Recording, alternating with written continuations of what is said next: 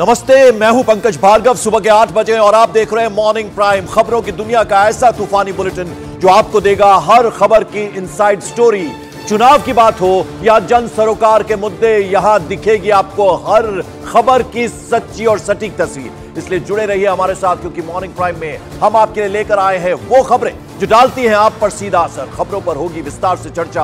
हमारे साथ हमारे रिपोर्टर्स होंगे, राजनीतिक विश्लेषक होंगे, जो देश की राजनीति पर रखते हैं बारीक नज़र। शुरू करते हैं। Morning prime. सबसे पहले आपको दिखाते हैं आज की सुपर टेन खबरें।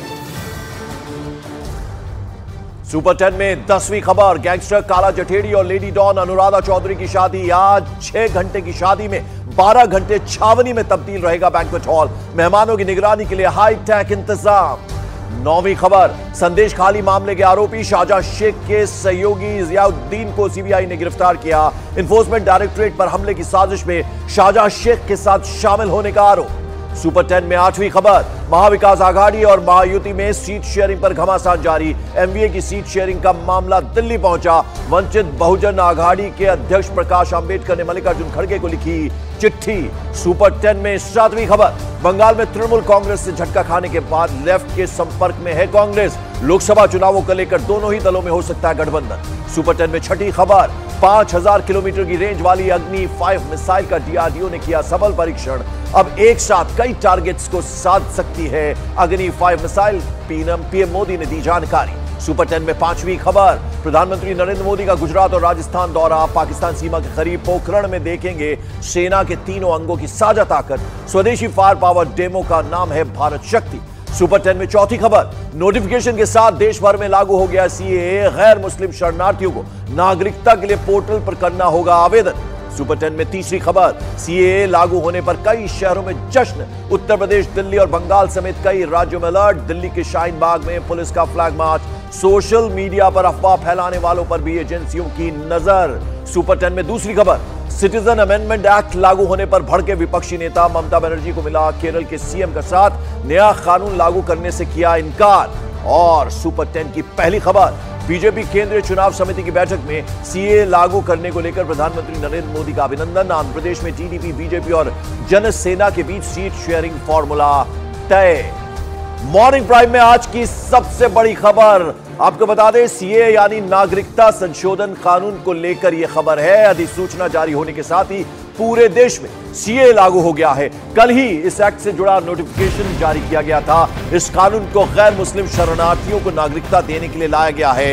यानी इस कानून के लागू होने के बाद हिंदू, सिख, बौद्ध और पारसियों की नागरिकता आसान हो जाएगी। सीए से जुड़ी अधिसूचना में साफ़ कहा गया है कि इस कानून से किसी भी भारतीय की नागरिकता नहीं जाएगी। तो ये सीए लागू कर दिया गया, पूरे देश में ये लागू हुआ है और ऐसे में अब अलग अलग जगहों से जश्न की तस्वीरें सामने आ रही हैं क्योंकि नागरिक संशोधन कानून जो है वो लागू कर दिया गया है सरकार की तरफ़ से और इस कानून से किसी भी भारतीय की नागरिकता नहीं जाएगी, ये एकदम क्लियर कर दिया गया है। अब जरा आपको बताते हैं कि आखिर सीए यानी नागरिकता संशोधन कानून है क्या? यह कानून केंद्र सरकार को नागरिकता देने का अधिकार देता है। सीए संसद से 2019 में पारित हुआ था। इसके तहत तीन पड़ोसी देशों से आए अल्पसंख्यकों को नागरिकता मिलेगी। तीन देशों के गैर मुस्लिम शरणार्थियों को नागरिकता देने का इसमें प्रावधान है और नागरिकता देने के लिए केंद्र सरकार ने वेब पोर्टल बनाया है, जिसमें अल्पसंख्यक शरणार्थियों को नागरिकता के लिए ऑनलाइन आवेदन करना होगा और फिर सरकार की जाँच पूरी होने के बाद ही नागरिकता यानी सिटीजनशिप दी जाएगी। तो ये किस तरह से लागू किया जाएगा और कैसे होगा, वो हमने आपको जरा ये बताया। अब ऐसे में सवाल ये है कि आखिर इस कानून के तहत नागरिकता मिलेगी कैसे? तो ग्राफिक्स के ज़रिए आपको ये भी हम समझा दें। सबसे पहले, शरणार्थियों को वेब पोर्टल पर ऑनलाइन आवेदन करना होगा। इसके बाद उस डिस्ट्रिक्ट के कलेक्टर एप्लीकेशन की जाँच करेंगे। कलेक्टर की जाँच पूरी होने के बाद रिपोर्ट केंद्र सरकार को भेजी जाएगी। उस रिपोर्ट के आधार पर केंद्र सरकार की जाँच आगे बढ़ेगी और फिर जाँच पूरी होने के बाद नागरिकता का प्रमाण पत्र यानी सर्टिफिकेट जारी किया जाएगा। वो सर्टिफिकेट उस शख्स को, उस नागरिक को दिया जाएगा। अब जरा आपको यह बता दें कि नागरिकता संशोधन कानून के तहत किन किन लोगों को नागरिकता मिलेगी। तो तीन देश यानी पाकिस्तान, उसके अलावा अफ़गानिस्तान, बांग्लादेश से जो शरणार्थी आए हैं, उन्हें यह नागरिकता दी जाएगी।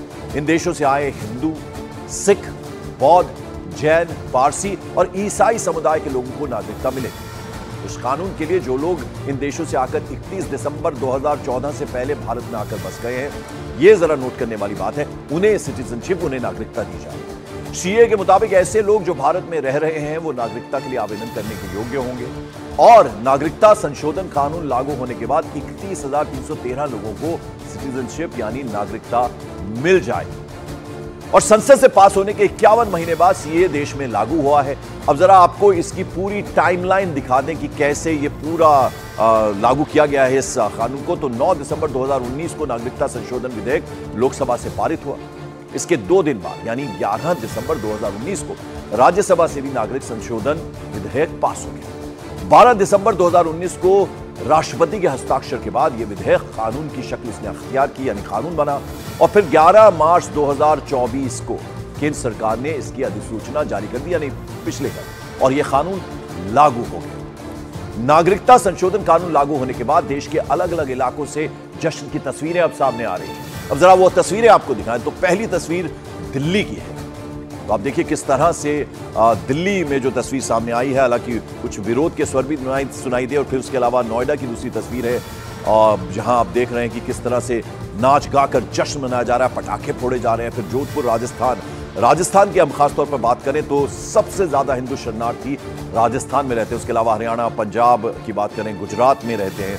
लेकिन सबसे ज़्यादा राजस्थान में रहते हैं। फिर मध्य प्रदेश भोपाल की तस्वीरें आप देखिए, वहाँ पर भी किस तरह से लोग जो हैं वो इकट्ठा हुए हैं। उत्तर चौबीस परगना, पश्चिम बंगाल की तस्वीरें देखें। मतुआ समुदाय के जो लोग हैं, वहाँ प्रधानमंत्री उस समुदाय से मिले भी, एकदम बांग्लादेश बॉर्डर पर है। वहाँ खासा जश्न मनाया गया और फिर गुजरात, अहमदाबाद की हम तस्वीर आपको दिखा रहे हैं कि किस तरह से वहाँ पर भी मिठाई खिलाते हुए एक दूसरे को नज़र आ रहे हैं। यानी बेहद खुश हैं सीए को लेकर ज़बरदस्त उत्साह और जश्न की तस्वीरें हम आपको दिखा रहे हैं। प्रदेश के अलग अलग प्रदेशों की तस्वीरें अलग अलग शहरों की हम तस्वीरें दिखा रहे हैं आपको।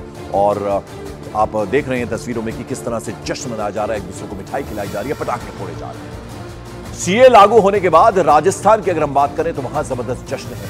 ये सबसे ज़्यादा शरणार्थियों वाला राज्य है, जैसे कि हमने आपको बताया। इसलिए राजस्थान का शहर जोधपुर। यहाँ नागरिकता संशोधन कानून या सीए लागू होने के बाद ज़बरदस्त तरीके से नाच गाकर, ढोल बजाकर, एक दूसरे को मिठाई खिलाकर जश्न मनाया गया। हम आपको बता रहे हैं कि अगर 1950 से लेकर 2020 तक बात करें, लगभग साढ़े तीन लाख शरणार्थी जो है वो भारत आए थे। और अब ऐसे में जब उन्हें नागरिकता मिलेगी, खासतौर पर राजस्थान की अगर हम बात करें, सबसे ज़्यादा यहाँ पर शरणार्थी रहते हैं। ये आप देखिए ये किस तरह से जश्न मनाया जा रहा है। छोटे छोटे बच्चे वहाँ पर हैं, ढोल बजाए जा रहे हैं, नगाड़े बजाए जा रहे हैं, नाच गाकर इसका स्वागत किया जा रहा है।